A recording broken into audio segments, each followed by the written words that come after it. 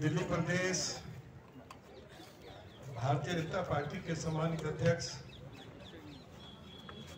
श्री आदेश गुप्ता जी के नेतृत्व में सभी पार्टी के सम्मानित कार्यकर्ता भाई और बहनों ने 11 बजे से उपवास रखा। और हम लोगों के लिए खुशी की बात है कि हम सभी की हौसला अफजाई करने के लिए हमारी पार्टी के राष्ट्रीय महामंत्री और पार्लियामेंट के मेंबर आदरणीय श्री अरुण सिंह जी उपवास में शामिल हुए हैं। मैं आप सभी की ओर से, अपनी ओर से उनका अभिनंदन करता हूँ। हमारे बीच में नई दिल्ली की पार्लियामेंट की मेंबर, हमारी बहुत ही सम्मानित बहन मीनाक्षी लेखी उपस्थित हैं। पार्टी के राष्ट्रीय प्रवक्ता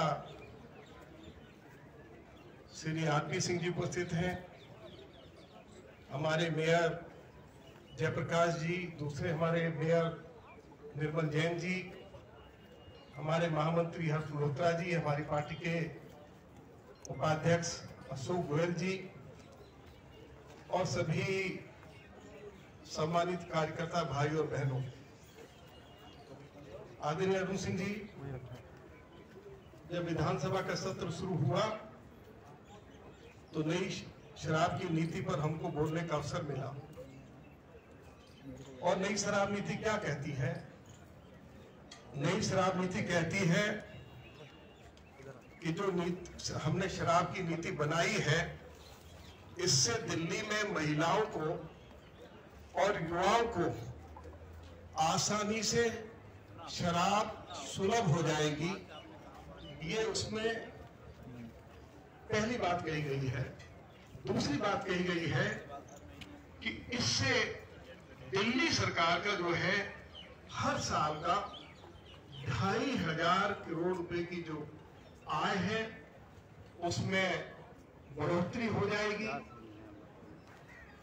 तीसरी बात कितनी मज़ेदार है कि अभी तक दिल्ली और दिल्ली के आसपास के राज्यों में जो प्राइवेट शराब के ठेकेदार हैं, उनको एक परसेंट से लेकर डेढ़ परसेंट तक कमीशन दिया जाता है।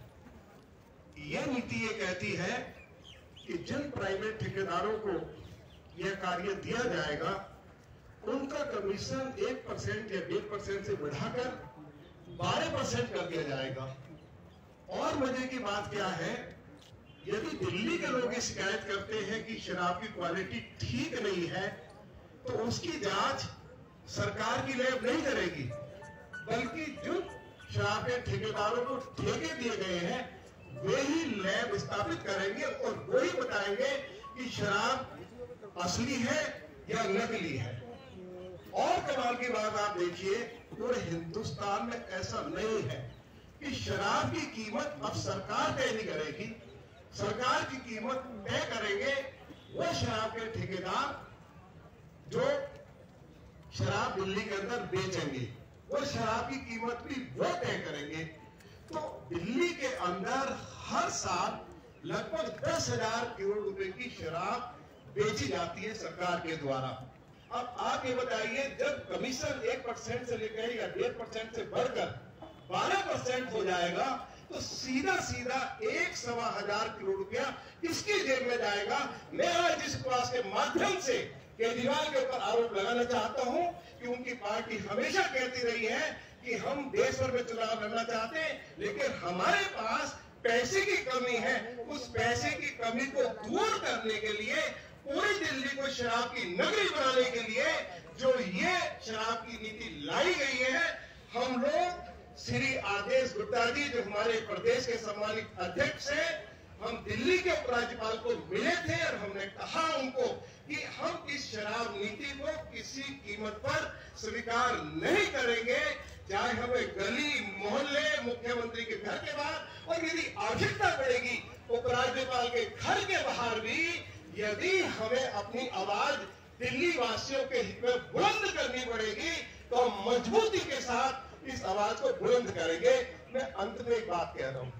कितनी कमाल की बात है कि जिस दिन शहीदी दिवस था 23 मार्च को, उस दिन ये पॉलिसी हमको अखबारों में पढ़ने को मिली।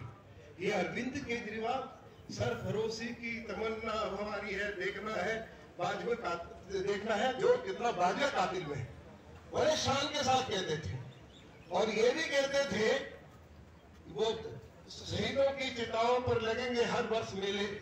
वतन पे मिटने वालों का यही बाकी निशा होगा। और शहीदी दिवस पर आप दिल्ली के लिए इस तरह की शराब की नीति ला रहे हैं। अब शहीदों की चिताओं पर मेले नहीं लगेंगे। अब अरविंद केजरीवाल की जो दिल्ली की सरकार है, अब दिल्ली के जो शराब के ठेके हैं, उन पर मेले लगवाएँगे। जो हमें किसी कीमत पर स्वीकार नहीं है। मैं इन्हीं शब्दों के साथ आदरणीय अध्यक्ष जी को बहुत बहुत अपने सभी विधायकों की ओर से बधाई देना चाहता हूँ कि यदि विधानसभा के अंदर ये आवाज़ हमने मजबूती के साथ रखी और जिसका चीफ मिनिस्टर और डिप्टी चीफ मिनिस्टर जवाब नहीं दे पाए, उस आपने उसी ईमानदारी के साथ दिल्ली वासियों की भावनाओं को समझते हुए जिस तरह आपने दिल्ली के एलजी के सामने ये मामला उठाया। हम आपको बहुत बहुत बधाई देना चाहते हैं और आज का जो उपवास है, आपके नेतृत्व में कामयाब रहा है। लोग सुबह दस बजे आ गए और अभी तक बैठे हुए हैं। कोई एक भी हमारा कार्यकर्ता उठा नहीं, किसी ने पीने का पानी भी तक नहीं पिया इस शानदार उपवास के लिए एक बार में प्रदेश के अध्यक्ष जी को उनकी पूरी टीम को बहुत बहुत बधाई देना चाहता हूँ और आदरणीय अरुण सिंह जी जो हमारी हौसला अफजाई करने के लिए आए हैं। मैं अपनी ओर से, आप सभी की ओर से उनका अभिनंदन करता हूँ।